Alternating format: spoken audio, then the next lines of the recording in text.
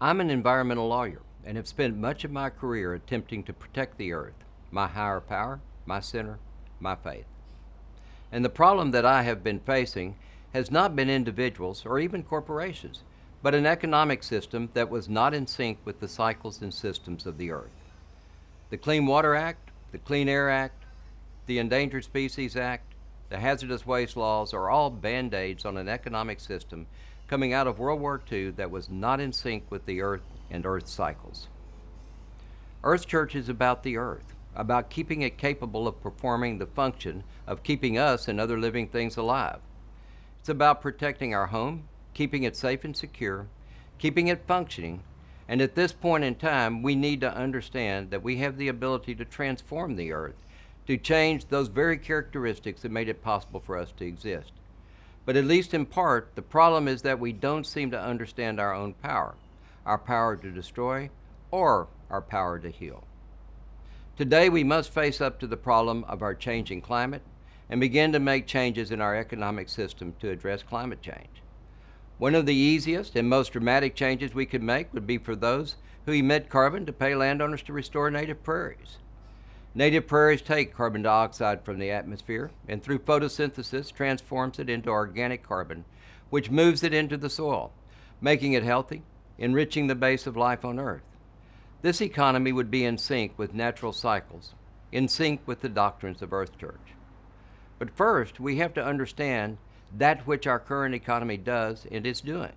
And that means directly facing up to our responsibilities with regard to causing and now addressing climate change.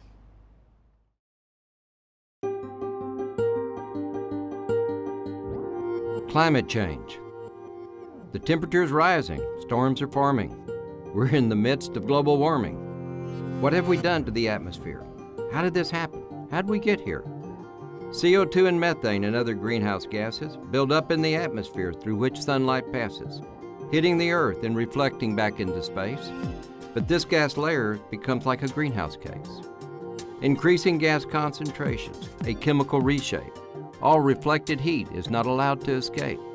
If we don't reduce these greenhouse gases, this warming will kick our collective asses. Since 1900, our temperature has been rising, up one degree centigrade. I'm not lying. And that temperature will go way on up if we don't control our emissions blow up.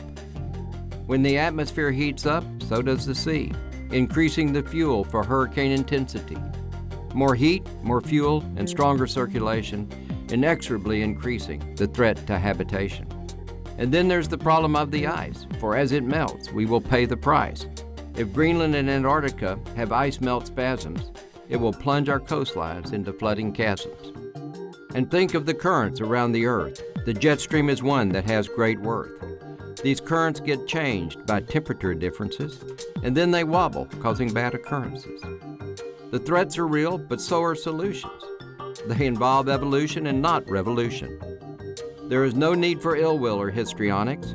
We can manage this change with new economics. At Earth Church, we want to stop global warming and protect the habitat that it is harming. We are hurting the source of our very being. Let's stop this nonsense and get on with winning. So, welcome to Earth Church. Pull yourself up a pew. Here we fight global warming, and we'll win for you.